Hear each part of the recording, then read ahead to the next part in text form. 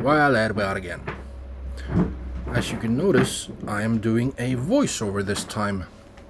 And I'm sorry about that, but that just happened because my microphone didn't record. Anyways, in this video we will be doing a, or I will be doing a HP laptop and we will remove the BIOS password off of this one. I bought this off of Finn.no, which is a Norwegian online marketplace, sort like Craigslist in the US. Now, the thing is, this was sold uh, at a by a company that takes in uh, computers that were leased by other companies and they refurbish them and sell them at a reduced cost. But they had a few of these uh, HP ProBook G no uh, HP ProBook 640 G2 laptops that they got in from a um, company that had set in a BIOS password and they didn't remember it. Uh, I figured I'd buy one because I have both the knowledge and the tools and everything to fix that and let's do that in this video. Um, kind of surprised me that they didn't really do this themselves because the the job of removing the password isn't really all that difficult. But anyways, I'm happy to get a very cheap but very good laptop. It has a 8 gigabytes of RAM. It has 128 gig M.2 drive. And as you can see now, I'm just booting it up and we will go into the try to go into the BIOS but the BIOS does not cooperate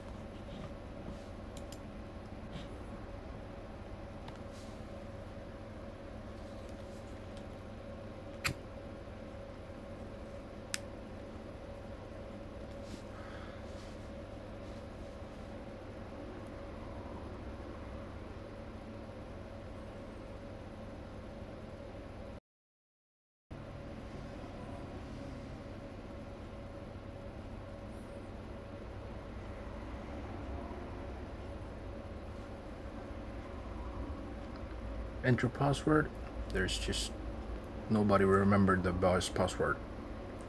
Not at all.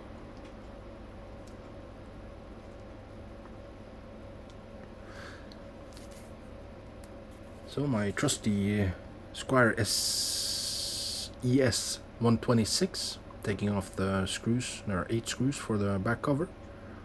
And yeah it's very simple and you just pop the back cover right off now you can see that the BIOS chip is there on the left just below the M.2 drive and what I did try, I tried to use the clip while it was still on the board but the clip I have it just didn't get a good connection so I had to dig out the Kapton tape to try and protect the plastic a little bit. I did manage to sort of melt a little bit of the plastic, well it warped a little bit, you'll see that later on. So some uh, flux on the BIOS chip. Uh, this is the 16 megabyte BIOS chip. Uh, that's the only one you need to remove. And I decided to just take it off because I didn't want to bother trying to fix the clip. Uh, much easier to just take the chip off and that just. Uh, in this case, I forgot to turn the I forgot to turn the uh, scene over scene mode over to the microscope so uh, that's why you just see that. There's the BIOS chip. Uh, the pin one is down on the right side. Here I have connected to my uh, Raspberry Pi 4B running Kali Linux, which I love. And this is just me using FlashROM because I find FlashROM. And FlashROM did detect it, but it had several chip detections, so I had to specify which chip, and you all, all you do that is you use the C argument, and I just copy and paste the chip name. And it reads the flash, and that takes a while. Uh, 16 megabyte over SPI takes quite a bit. And here is a very important part. Verify. You can see that it says it has been read, but always, always, always verify that the file you read or dumped matches what's actually on the BIOS. And all you do is you just change the R read to a V for verify and everything else is the same but you just need to verify against the file that you just dumped. When you press enter it'll start the verification process which takes just as long as it takes to read the chip or dump the chip.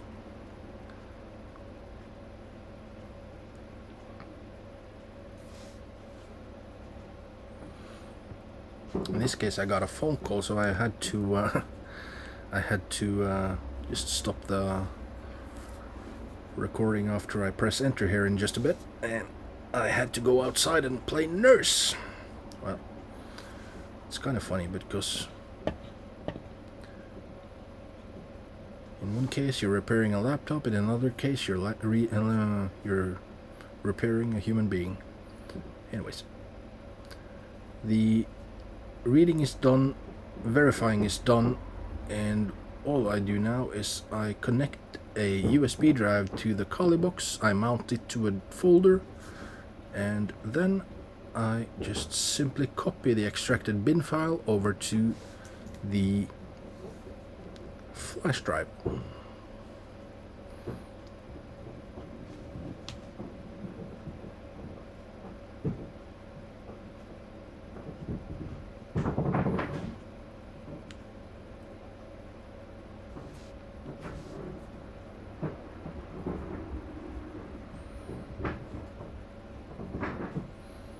Kali is set up so you uh, you can't do anything as root. You have to use uh, sudo. You can't really just log in as root or anything. So you just do that. And because I haven't added my user add to the dial I use the sudo and mount the USB drive I inserted and there you can see the tool is on the uh, USB drive uh, it's RC Unlocker. You can find that on Badcaps. Uh, Badcaps is something you really need to be a member of when you repairing laptops. Uh, there are several other resources, of course, too, but Badcaps really is. And uh, the RC Unlocker was made by Rhetorical Cheese, a user on there, and this thing will remove the password from a bunch of uh, different HP laptops. So yeah, I can absolutely, absolutely recommend downloading that tool. So unmount it and here I have the uh, Acer laptop that I fixed earlier uh, because um, I had planned on using the uh, laptop that I am fixing but because I couldn't read with the chip on I had to take it in so I just put in the thumb drive or USB drive uh, I copy the bin file over to or I move the bin file over to the RC unlocker uh, executable folder where the executable is and then you just simply click uh, hold and drag the bin file onto the executable it's simple as that. That will do a process in the background and you will see in just a little while you get a I will zoom in on it. You will get a window that comes up that tells you unlock finished. There. I will zoom in on that. It's made by Rhetorical Cheese and it tells you what to do. It tells you all the information from the BIOS file. It tells you what to do. You have to reset the BIOS after this is done. And it creates a copy of the BIOS file, the binary file, that is just the same name, but it's also underscore unlocked. So that's the fixed binary file that you have to write back to the BIOS and then solder it back on the board. To just close the program, the RC Unlocker tool, take out the thumb drive and put it back in the Kali box which I'm using or whatever machine you're using to flash or read. So back in mount the USB drive and copy the bin file over the un the unlocked bin file over to the Kali drive just so you don't have any bugs with the reading from a USB drive over the USB protocol back over and stuff like that. Copy it over to your drive and do the process from there.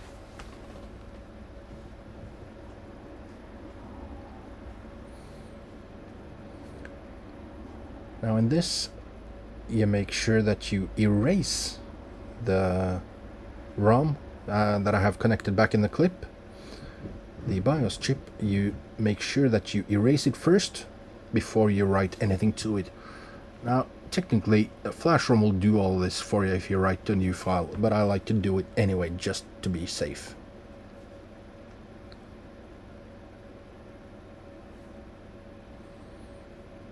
It tells you everything on the bottom of the screen. And of course when you want to write the new file all you do is change the E which is erase. You change that to a W for write. You specify the new unlocked binary file. And in this case also specify the programmer to use. Mine is CH341B but the A is what you use and specify the chip name and it will go through the process. This is a long process because it will erase the chip, it will write to the chip and it will do the verification for you because I didn't specify the no verify argument so it does it for you. So if you want to be extra safe do a verification process again but you don't have to because FlashROM does that for you. Now you can just unmount the USB drive and you solder the BIOS chip back on the board. I had cleaned up the previous chip uh, or the previous flux and what I do now is I just add a little bit more flux just so that I get a good solder joint and this time I actually did remember to put the scene on OBS which I'm using to record into microscope mode so you can see the chip.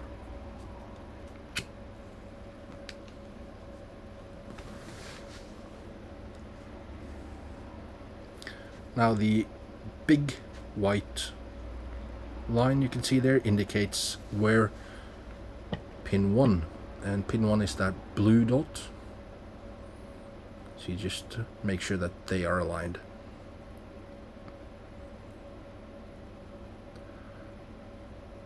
just make sure that you get a good joint here and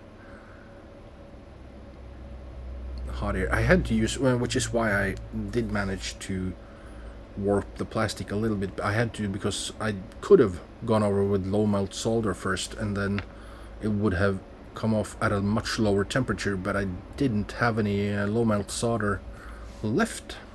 So I had to use uh, I had to go up to 415 degrees now you can just remove the Kapton tape. And I like to use a tweezer just to go over the pins to make sure there is a good connection on each pin.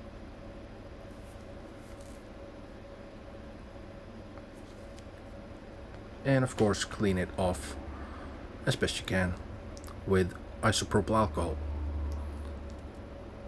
When you're doing electronics repairs, you really, you, you can't ever have enough ISO. Okay, so let's put the back cover back on. And I will... I felt... Uh, I felt positive that this would be all good because I tested everything. So I just put the back cover back on and decided that if there should be an issue, I'll just take it off again. It's just eight screws and I have the tool. So let's flip it over and connect some power and let's see what it says if it's working it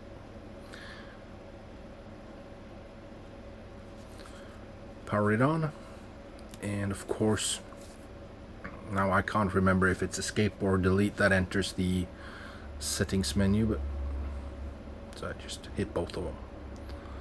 And it comes up with the screen you'll see in just a second.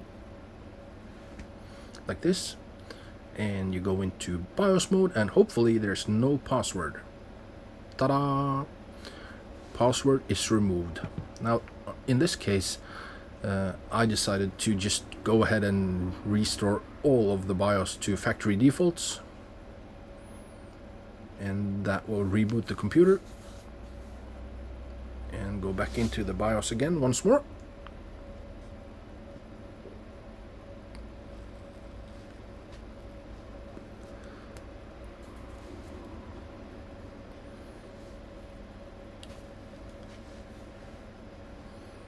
and just verify the time and date and that everything still looks like it should. You can see 8 gigabyte of RAM. You can see that it's an i5 6300U running at 2.4 gigs.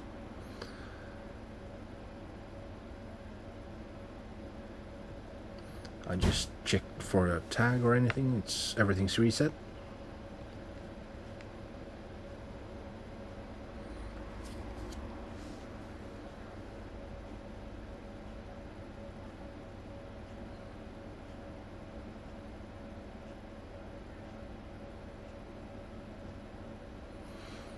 and just save the BIOS exit the BIOS saving settings.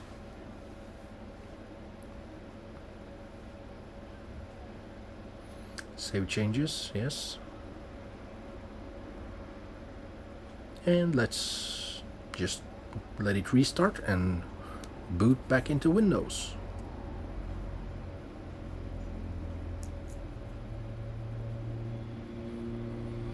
This is a quick little computer and for the price I paid for it that's astonishing that they didn't do a BIOS repair